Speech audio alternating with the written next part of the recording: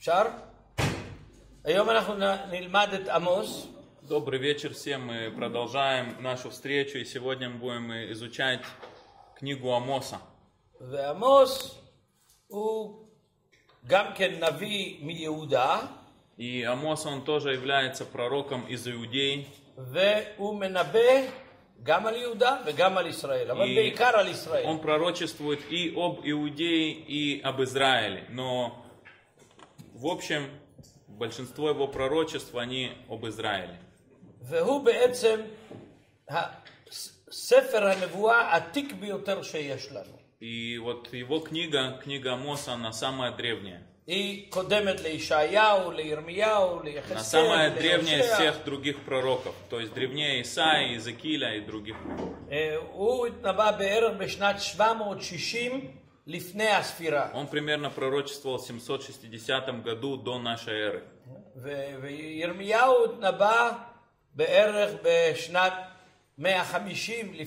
А Иеремия, он пророчествовал в 150 году до нашей эры. И поэтому вот Амос, он считается самым древним из пророков. אז תקרא את יבוא הפסוק קניגה. הראשון של עמוס, Мы будем читать с первой главы, с самого начала. Слова Амоса, одного из пастухов фи- фикойских, который он слышал видение об Израиле в дни Озии, царя Иудейского, и в дни Иераваама, сына Иоаса, царя Израильского, за два года перед землетрясением. אה, כתוב לנו באופן מפורש מאיפה הוא בא, То есть здесь מאיזה עיר? мы точно можем прочитать, откуда он, из какого он города. הוא בא מתקוע. מישהו יודע איפה זה תקוע? ביקר פעם בתקוע? И לא. Ткоа, а за Ткоа? Ткоа. Фиокийских. Написано, что он был из пастухов фиокийских. מה, מה? פיוקי ברוסי. אה? Фикойских. תקויסקי זה תקוע בעברית. На иврите это Ткоа переводит. ומישהו פעם ביקר בהרודיום? Кто-то был в Иродионе? אף אחד לא ביקר בהרודיום?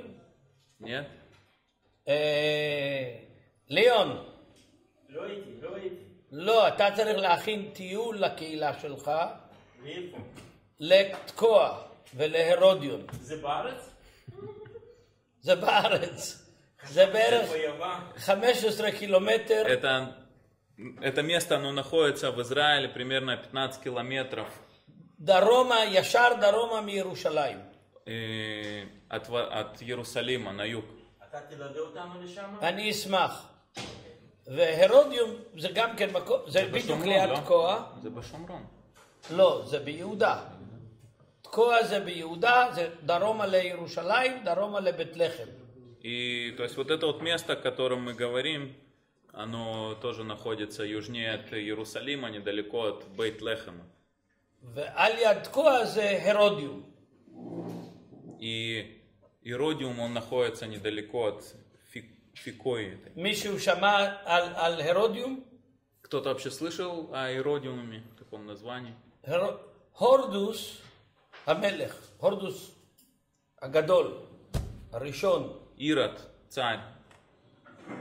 בנה שרשרת של ערים он построил целую цепочку городов, מהצפון, начиная с севера, מקום שקוראים לו המונפורט, ליד אה, есть место, נהריה, которое ליד называется יחיעם. Манфорт, это недалеко от Маалота.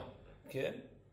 ועד מצדה, И потом до Масады, משני הצדדים, אחד לאורך החוף, על הערים שבאורך החוף,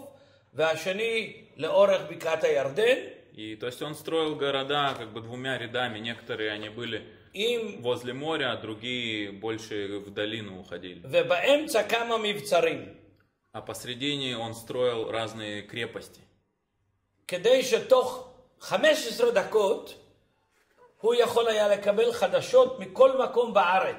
Почему он так делал? Для того, чтобы за минут 15 он мог узнать все новости, которые происходили в Израиле. То есть, если что-то происходило на Голанах, через 15 минут он уже об этом знал в Иерусалиме.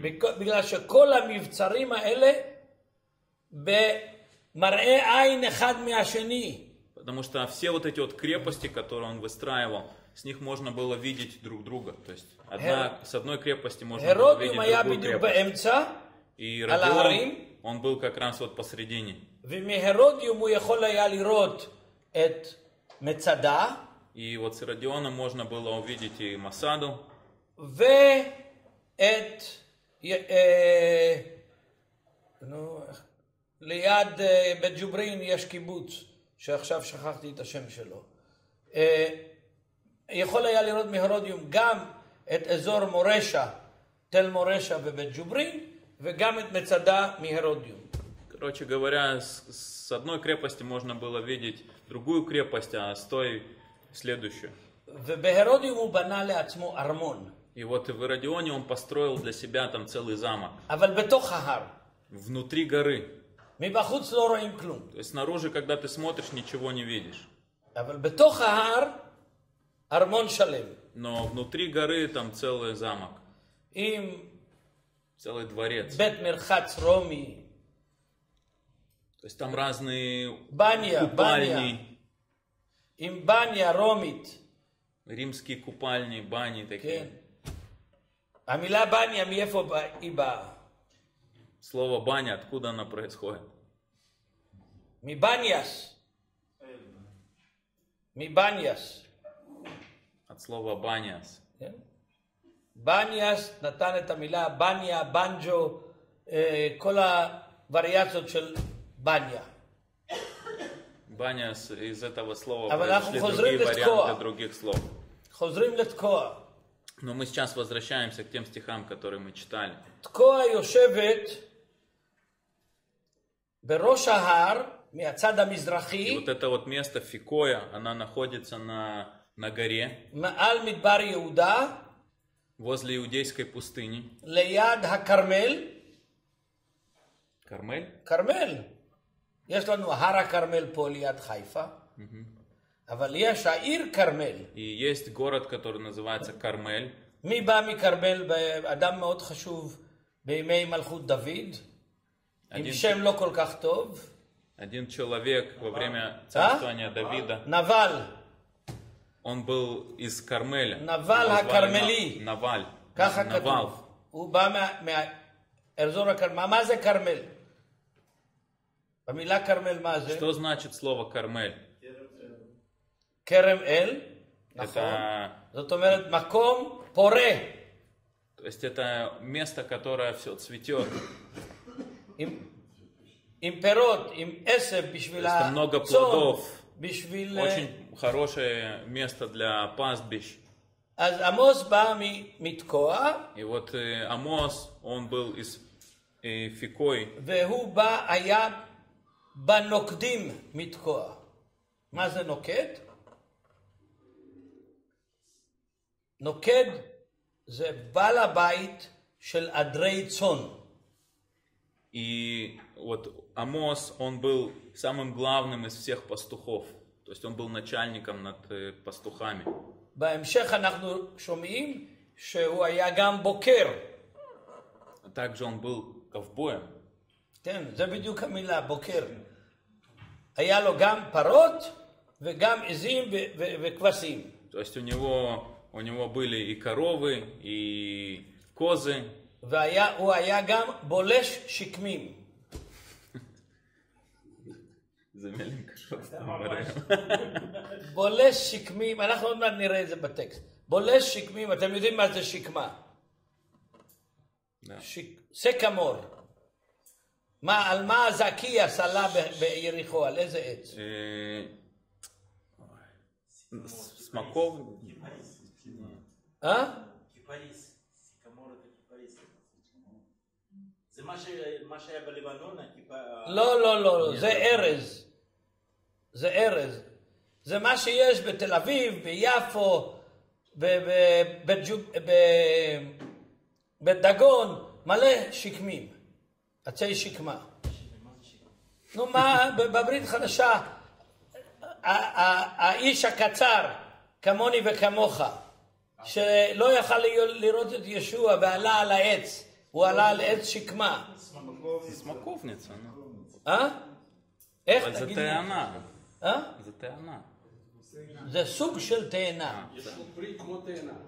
יש לו פרי אז מה זה בולט שקמה? שבולס שקמים זה אדם שאת ה- את התאנה של השקמה אי אפשר לאכול ככה, כמו שאוכלים מתאנה רגילה מהעץ.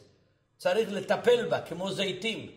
Короче, Амос, он ухаживал за, вот, за, за смоковницами, והוא, чтобы они могли приносить ו- настоящие והוא хорошие היה плоды. איש שהיה כנראה יודע איך לטפל. בולס, המילה בולס זה מילה קצת קשה, גם בעברית המובן שלה לא כל כך ברור, יש לה הרבה מובנים, אבל הוא בעצם מטפל בפרי השקמה, שבערבית נקראת ג'ומזה. И вот э, с- смоковница, он занимался деревьями, которые это было вид, определ- вид смоковницы. И это была действительно серьезная профессия. חקלאי חקלאי. הוא היה חקלאי חקלאי. Профессия, где то есть, простой человек не- даже не знал, как заниматься, что делать для того, чтобы действительно были плоды. הוא היה מה שנקרא באנגלית a gentleman farmer. Короче, фермером он был. קרופ- קרופנים, землевладельцем ופרמרים. זה חשוב לנו להבין למה אני מתעקש על זה, И מפני это нам важно для понимания. שבהמשך עמוס אומר אני לא נביא ולא בן נביא.